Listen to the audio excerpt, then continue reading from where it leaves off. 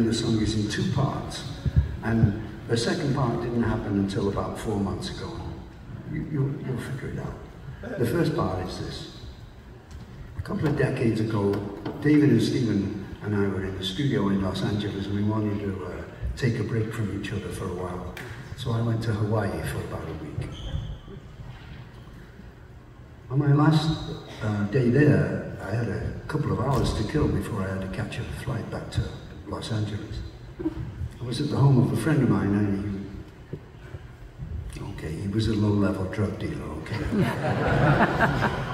Just some pop, nothing heavy. And I had a couple of hours, as I said, and uh, as I got up to leave, he said, hey, you're supposed to be some big shot songwriter, but you can't write a song just before you go.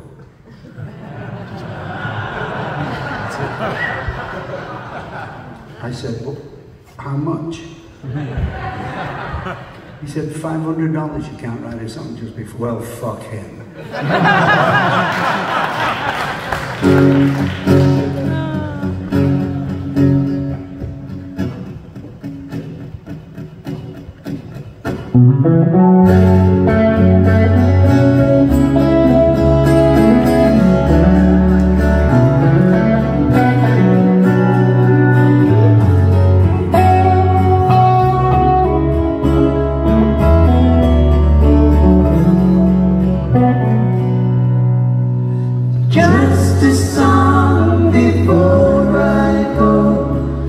whom it may concern.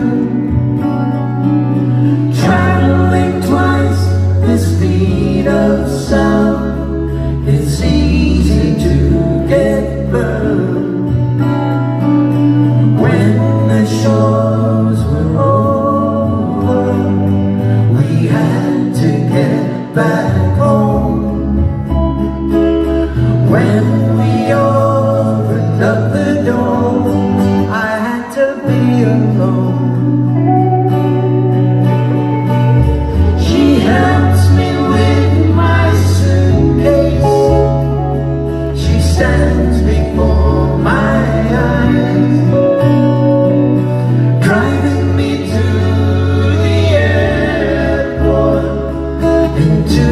into the friendly